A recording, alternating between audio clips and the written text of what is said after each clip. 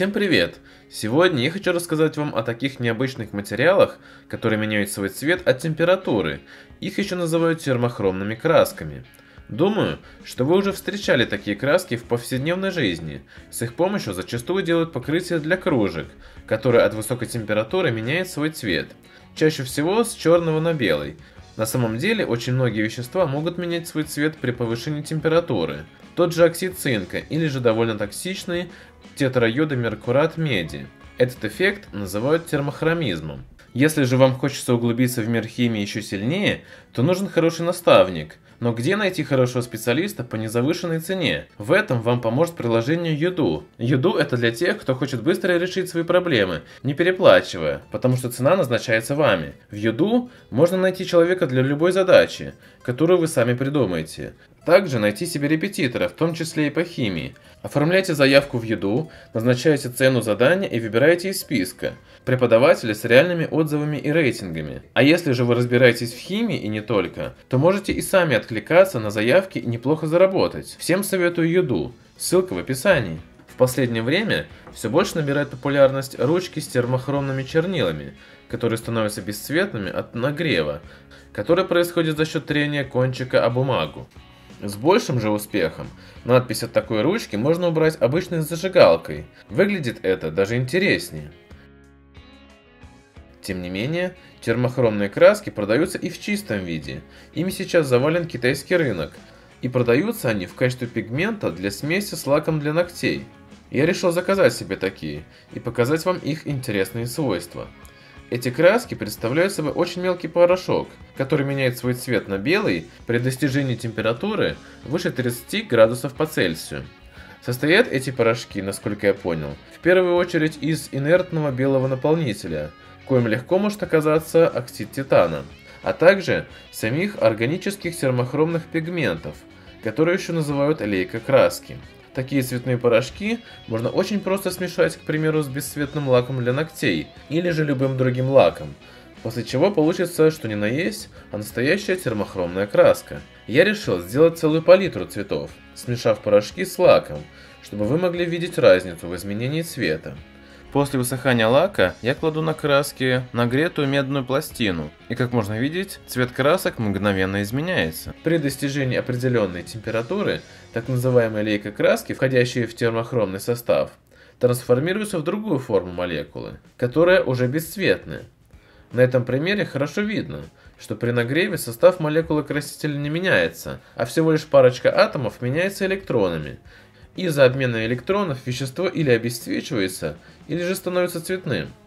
После охлаждения красителя электроны возвращаются на свое место, и цвет становится прежним, что говорит о том, что такие изменения являются обратимыми.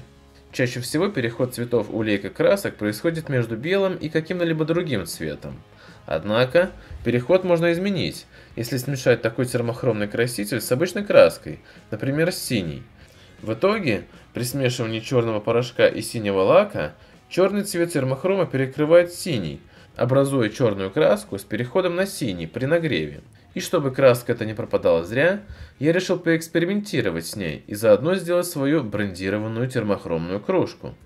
Для этого я вырезал из клейкой ленты трафарет и далее нанес краску на поверхность кружки, получив тем самым эмблему своего канала. Однако это показалось мне скучным, и я решил сделать небольшой акцент в этом произведении искусства. Для этого я смешал желтый лак с синим термохромным порошком, в итоге получив зеленый цвет с переходом на желтый при нагреве. С помощью такой краски я добавил целостности к изображению в виде такой линии. Думаю, дизайнеры оценят. Но и это меня не остановило. Я решил сделать еще красную кнопку от YouTube на своей такой художественной кружке – но для этого у меня уже не было красного лака. Поэтому я решил заменить его на обычный пищевой краситель для яиц. Однако, моему удивлению не было предела, когда оказалось, что в пищевом красителе сам пигмент смешивают с солью для объема. Поэтому получившаяся красная кнопка на кружке будет с некоторыми изъянами. Ну и ладно, подумал я, ведь главное это же химические превращения, на которые кристаллы соли не особо повлияют. В итоге, после высыхания, у меня получилась вот такая кружка, которую настало самое время протестировать. Я наливаю в нее горячей воды, и спустя пару секунд уже можно видеть первые изменения. Желтые треугольники полоска постепенно из зеленых становятся желтыми, а спустя еще некоторое время уже сам логотип из черного становится синим. Удивительно, не правда ли? Если посмотреть с другой стороны, то темная кнопка при нагревании становится ярко-красной, из-за того, что к красному пищевому красителю я добавил термохромный синий порошок, который при нагреве обесцветился, оставив только ярко-красный пищевой краситель. При охлаждении все цвета меняются на изначальные, что тоже довольно эффектно.